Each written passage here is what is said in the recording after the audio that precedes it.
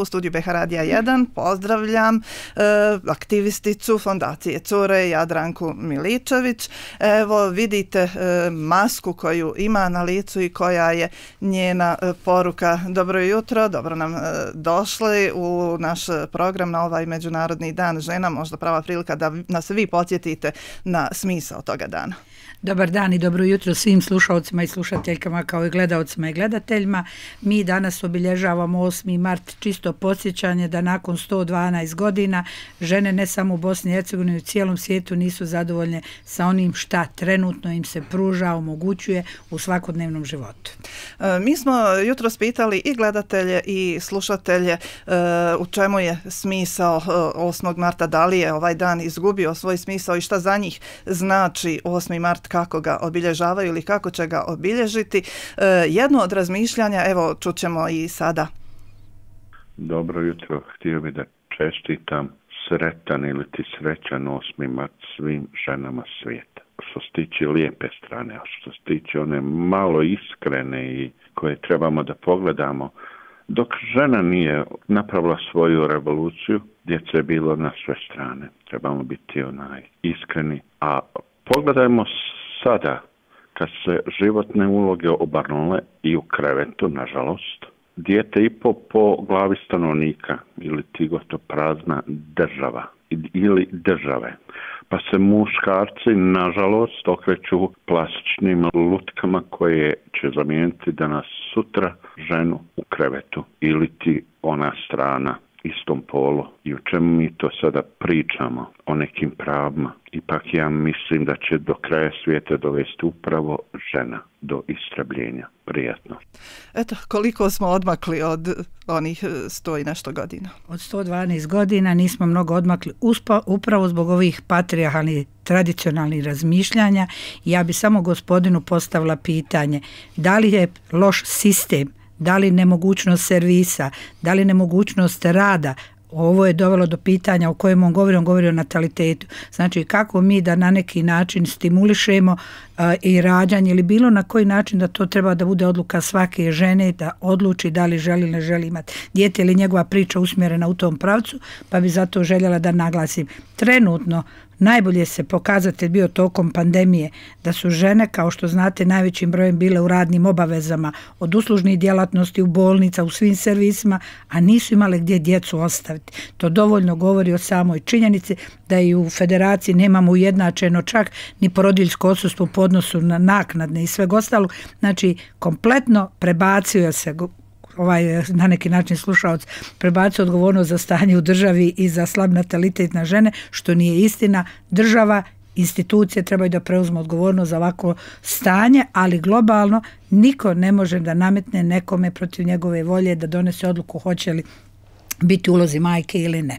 A, ovo je e, tretiranje žene kao naše objekta, samo, ovo je samo tretiranje žene kao objekta što se mi ne slažemo i evo ne samo mi, već 112 godina rekla sam sve žene globalnog svijeta žele da se žene prihvate kao pravnopravne sudionice u svim procesima koje svaka država ima na svijetu.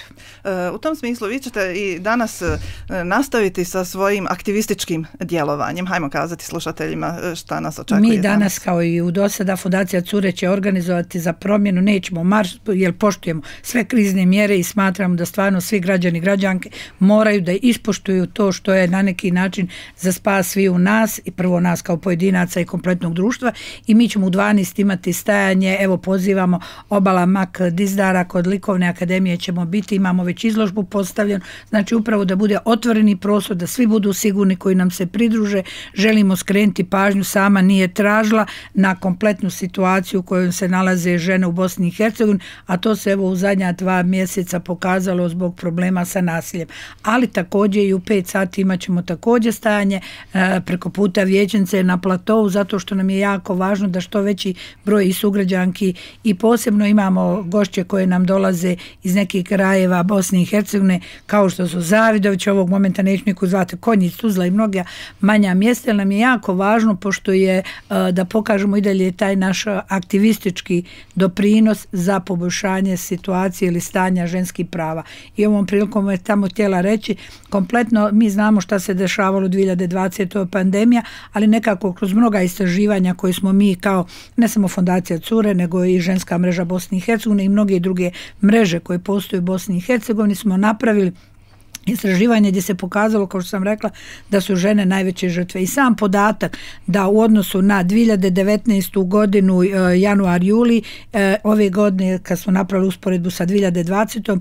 broj žena koji su bile smještene u sigurnoj kući je porastao sa 347 na 519, a na primjer osobe, žene koje su tražile pomoć putem SOS telefona jeste e, u odnosu na 2833 4158. To vam govori upravo o globalnom porastu svih oblika nasilja upravo nad ženama zato što su one na neki način se pokazalo da u ovoj pandemiji u strahu, u svemu da dolazi do porasta nasilja u BH društvu.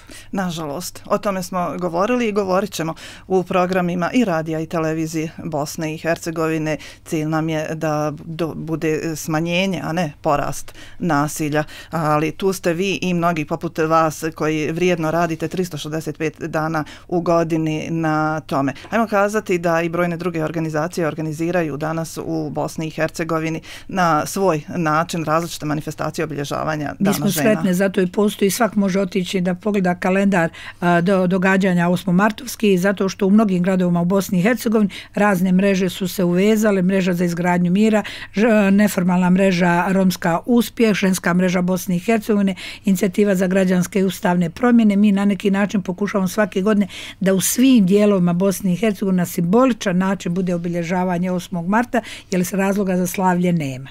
Zahvaljujući pandemiji koronavirusa, teško da će biti ove godine obilježavanja 8. marta u kafanama na kakva smo naišli, a to je ono što e, nije smisao zapravo ovoga to praznika. To jeste nešto što mi na neki način iskrenemo, skrećemo ovog puta pažnju, to i nije bilo način da se slavi, jer nemamo razloga za slavlje.